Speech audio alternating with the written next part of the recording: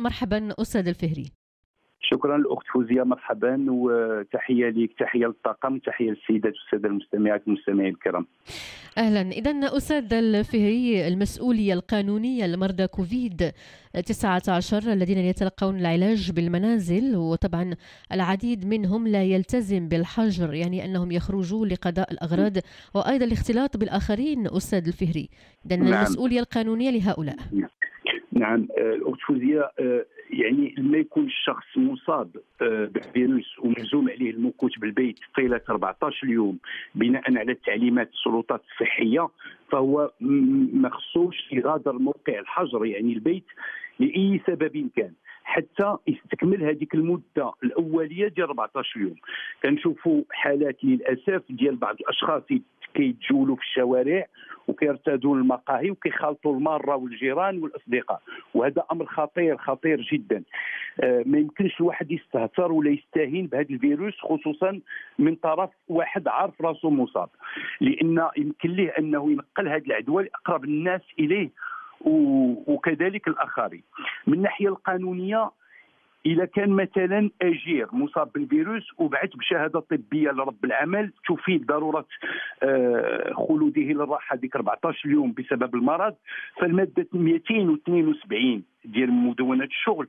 كتسمح للمشغل بانتداب واحد الطبيب خبير مختص في طب الشغل من أجل إجراء الفحص الطبي مضاد une contre-visite médicale وخاصو يلقى الأجير المصاب في البيت ديالو وإلا كيتعتبر فحكم متغيب بدون عذر مقبول وتيترتب على ذلك اتخاذ إحدى العقوبات المقررة في المواد 37 أو 39 مع احترام المادة 62 من مدونة الشغل.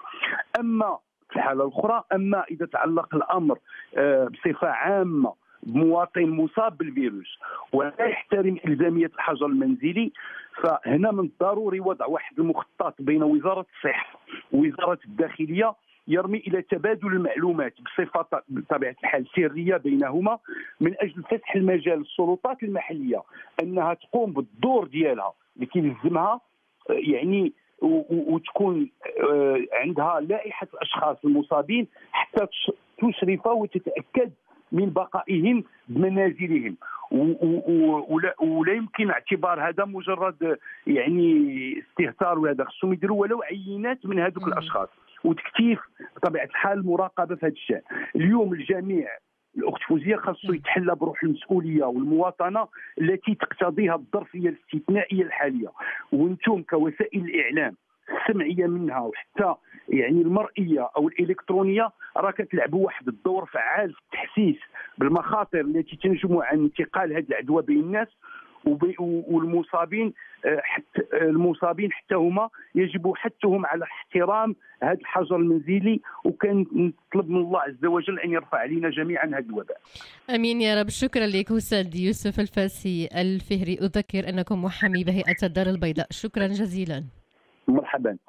إذا بفقرة معلومة قانونية في زمن كورونا نختم نشرتنا. شكرا للمتابعة مباشرة على راديو أصوات خليكم معنا. 光